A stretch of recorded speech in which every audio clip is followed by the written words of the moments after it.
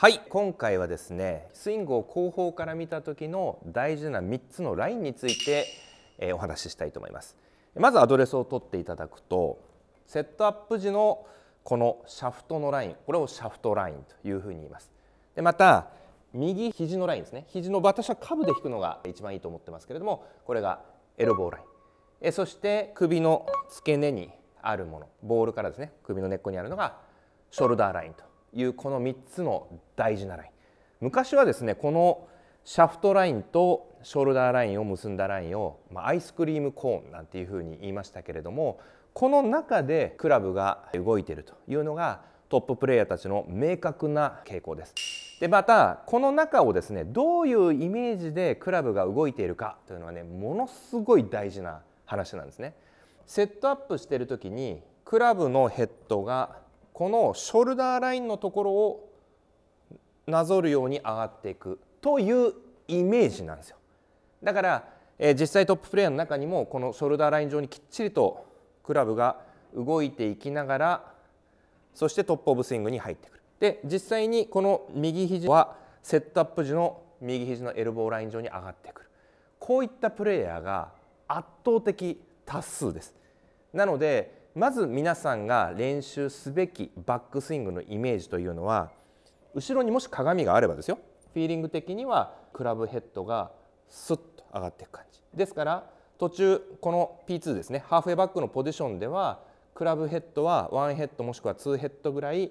グリップよりは上。そしてここから P3 に入ってくると、まあ、大体オンラインもしくはちょっとだけ立ってる状態。そしてトップオブスイングに入ってきた時にはきっちりとスクエアになってくるこういったバックスイングのルートを描いていただければほとんどのトッププレーヤーの傾向とマッチしてくるはずです。そして降りてくる時のフィーリングも実は結構こういうフィーリングで降りてくるプレイヤーが多いわけですね。なのでプロゴルファーのワッグル見ていただければ分かると思うんですけどこういう人多いですよねワッグル。分かりますかね？ふわっと動かした時にこのクラブヘッドがショルダーライン上に上がってきて、まあ、なんとなくショルダーラインから降りてくるみたいなワックルをしてるのよく分かりますかね？ワックルこういう感じの人が多いですね。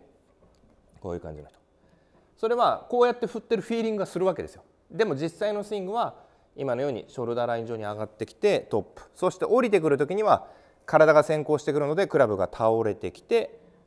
そして入ってくる。ただフィーリングとしては先ほど言ったようにショルダーライン上に上がってきて下手をするとショルダーライン上から降りてくるような感覚なんだけどプロの場合はクラブがインサイドから降りてくるためにそれでちょうどよくですねクラブが倒れてリードしてくるというようなフィーリングのプレーヤーが多いわけです。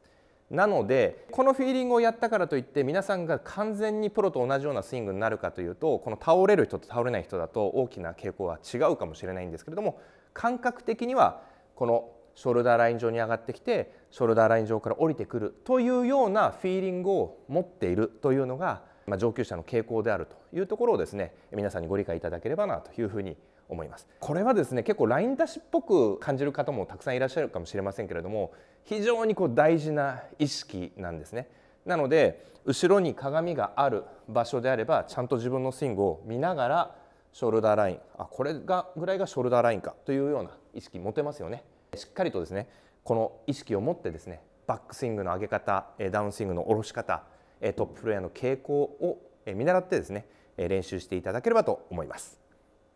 いつもご視聴ありがとうございます。